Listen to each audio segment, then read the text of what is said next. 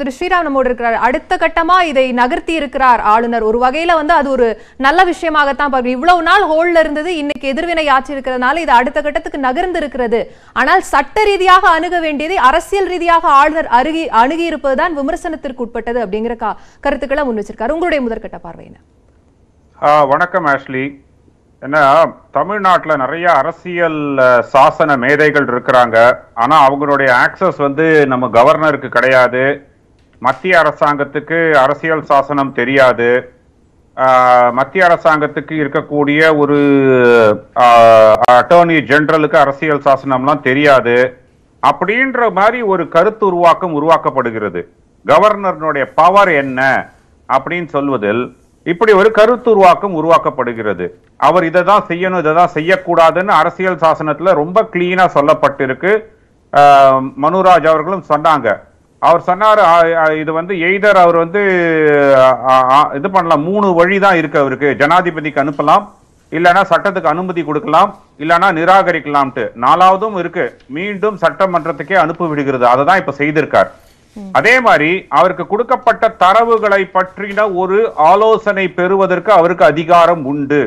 இது ஏ கே ராஜன் கமிட்டியை படிச்சிருந்தாலும் சரி அந்த படிக்க அந்த ஏ கே ராஜன் கமிட்டி கொடுக்க கொடுக்கப்பட்டிருக்கிற தரவுகள் கரெக்டான பார்க்கக்கூடிய இடத்தில் அவர் இருக்கிறார். அவருக்கு அந்த அதிகாரம் உண்டு. எங்கேயுமே மறுபரிசீலனை அப்படின்னு சொல்லியிருக்கலாம். அதற்கு சேர்த்தாற்படி அவர் நிறைய கருத்துக்களையும் முன் வச்சிருக்கார் இல்லையா? அந்த கருத்துக்கள் தான் அரசியல் ரீதியான. அதிர்வலைகள் ஏற்படுத்தி இருக்கோ அந்த கருத்துக்கள் நமக்கு இந்த இந்த ஸ்பீக்கருக்கு கொடுக்கப்பட்டிருக்கக்கூடிய அந்த கடிதம் அந்த டீடைல்ஸ் பப்ளிக் டொமைன்ல வந்ததுன்னா அதுல என்னென்ன கருத்துக்கள் நமக்கு தெரிய வரும்.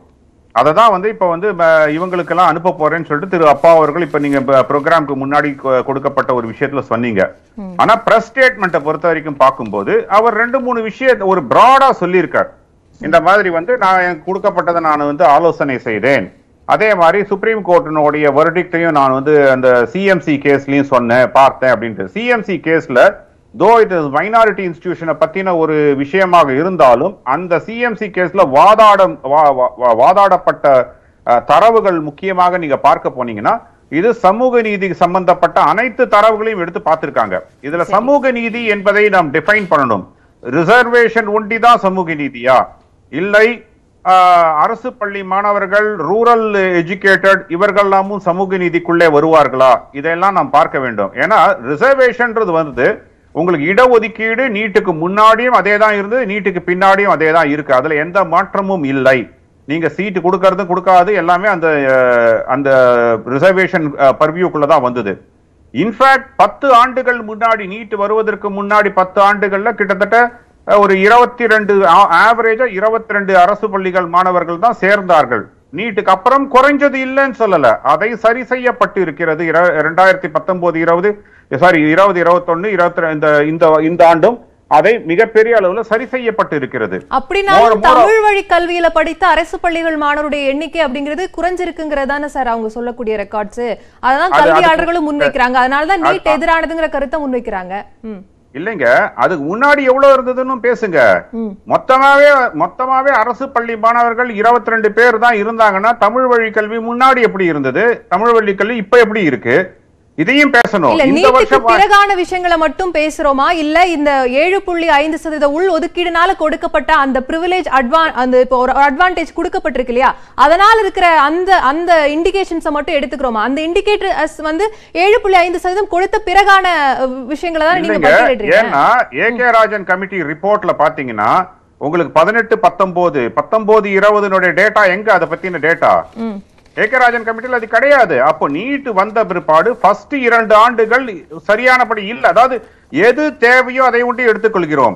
ஈவன் நீட் வருவதற்கு முன்னாடி இரண்டாயிரத்தி பத்து பதினொன்னு பன்னெண்டு பதிமூணு பத்து வரைக்கும் அந்த மூன்று ஆண்டுகள் டேட்டா பல பல இடத்துல வந்து வெறும் டேஷ் போடப்பட்டிருக்கு.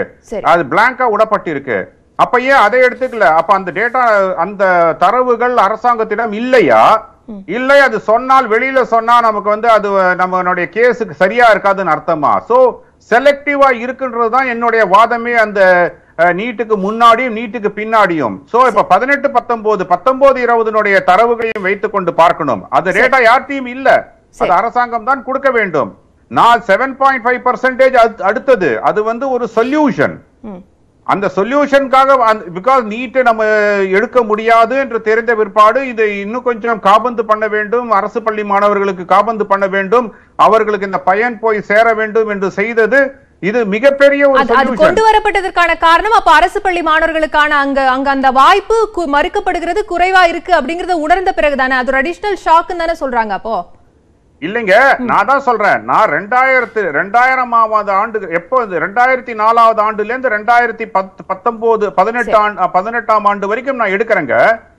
உங்களுக்கு பதினாலு ஆண்டுகள்ல சரி நீட் வருவதற்கு முன்னாடி இருந்த பது பதினோரு பனிரெண்டு ஆண்டுகள்ல உங்களுக்கு வருடத்திற்கு ஆவரேஜா இருபத்தி ரெண்டு பேர் தான். அதுலயும் நீங்க ஒரு ஒரு வருடம் ஒட்டி கொஞ்சம் அதிகமா இருந்தது. அதையும் நீங்க அந்த அபரேஷனை எடுத்து விட்டு பாத்தீங்கன்னா வருடத்திற்கு பதினைந்து பதினாறு பேர் தான் இருந்தாங்க. அப்ப ஒண்டி எங்க அப்பயே அப்பயே இந்த ஏழு புள்ளி அஞ்சு அப்ப எடுத்துட்டு வரல. அந்த ஏழு புள்ளி அஞ்சு அப்ப எடுத்துட்டு வந்திருந்தீங்கன்னா அப்பயே இன்னொரு வேற ஒரு பிரச்சனை சால்வ் ஆயிருக்கும் இல்ல. நான் அந்த ஏழு புள்ளி அஞ்சு உள்ளேயே வரல. சோ அரசியல் ரீதியான கருத்துக்களை முன்வைக்கிறதுக்கு முன்னாடி நம்மோடு திரு கே அழகிரி அவர்கள் இணைந்திருக்கார்கள். அவங்க கிட்ட கருத்தை வாங்கிட்டு வரேன் திரு ஸ்ரீராம்.